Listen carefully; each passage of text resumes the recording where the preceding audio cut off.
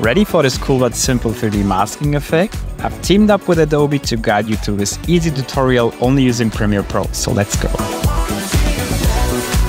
Step 1. Capture yourself in various scenarios, smoothly moving the camera from left to right. Step 2. Open up Premiere Pro, import the clips and create a mask on the first clip.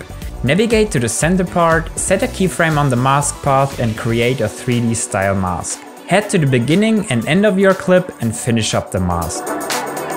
Once you're happy, simply copy the mask and paste it onto your other clips.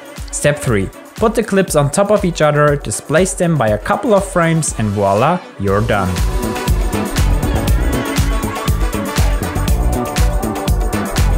So there you have it, an eye-catching effect achieved with just a few simple steps.